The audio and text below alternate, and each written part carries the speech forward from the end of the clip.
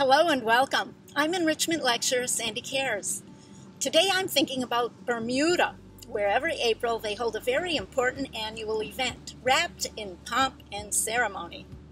It takes place in historic King's Square in the colonial town of St. George, where all the island dignitaries converge, arriving in grand style and formal attire.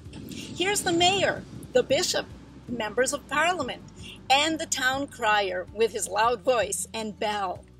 The governor and his wife make their grand entrance in horse-drawn carriage precisely at 10:58, setting off a 17-gun salute. The Royal Bermuda Regimental Band enhances the setting with music, and there are Freemasons everywhere. Why? For a peppercorn. That's right. In 1815, when Bermuda moved their capital from the town of St. George's to Hamilton, they no longer needed the old State House to run the government's business. The State House is the oldest public stone structure in Bermuda dating back to the 1620s.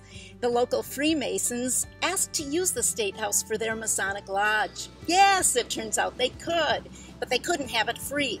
This is Bermuda after all. So the yearly rental fee of one peppercorn was set. And since then, the transfer of that peppercorn is played out in the annual peppercorn ceremony, where the Freemasons present the peppercorn lying royally atop its velvet pillow to the governor, securing their lodge for one more year.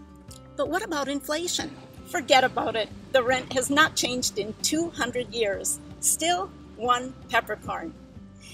Pretty soon, we'll be back on board our gorgeous vessels exploring Bermuda and other exciting destinations. Until then, no one cares like Sandy cares, signing off from Jupiter.